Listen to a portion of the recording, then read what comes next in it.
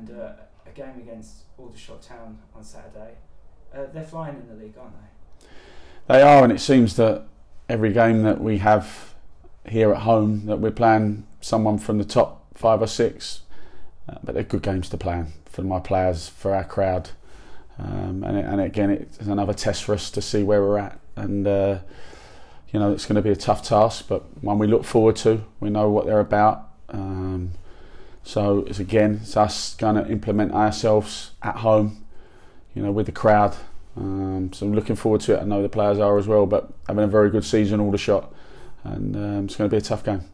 And it's the start of a sort of busy period with rearranged fixtures being put into place. Is it good to have a large, a large percent of the squad back now? Well, it's positive. You know, we're, we're only without really Charlie Lee. Uh, Jamie Sendles White is, is returning um, to, to, to fitness. So we're, we're, we're healthy in that part, and we're going to need that because we've got a, a hectic period coming up. Um, games are going to be coming thick and fast. It's going to be relentless now, and this is where the squad uh, will be called upon. And uh, I have no doubt that when it is, that it'll be more capable to deal with it. But I think it's a player. You, you want to play football matches, and uh, that's what we're going to have over this next three months of the season. And it's going to be busy, but one we look forward to.